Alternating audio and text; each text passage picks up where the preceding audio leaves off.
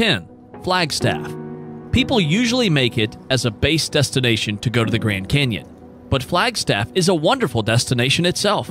Located about 7,000 feet above sea level, the city is surrounded by ponderosa pine forests, ski hill, volcanoes, which makes the city a vacation stop instead of a stop for Grand Canyon trips. The climate of the city is cooler than other popular cities.